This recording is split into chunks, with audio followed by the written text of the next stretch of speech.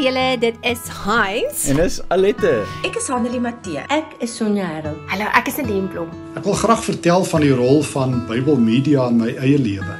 Ek kan nog onthou my ma se winterjas na motbolle geryk het as dit nie aande aangetrek het om uit te gaan na 'n Bybelstudie en hoe hulle Bybelkort kursusse gebruik het om meer oor die Bybel te leer.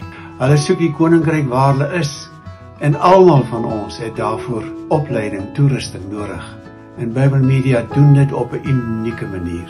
Bybel Media is 'n organisasie wat verantwoordelik is vir die publikasie van tydskrifte soos onder andere Lig tydskrif. Lig is deel van die groter Bybel Media groep wat seker maak dat God se lig by soveel as moontlik mense uitkom. En hulle het ons en jou hulp nodig. Bybel Media is nou besig met 'n nuwe projek oor Bybelboublokke om ook vir jong mense en sekerlik ook vir ouer mense hierdie basiese Bybelboublokke te voorsien sodat hulle God nuut en vars en reg kan ontdek. Daarom doen ek graag 'n beroep op jou om saam met my Bybel Media se boublokkies projek te ondersteun en so te help bou aan Jesus se koninkryk. Dankie dat ek jou kan vra om saam met my hierdie reis te stap.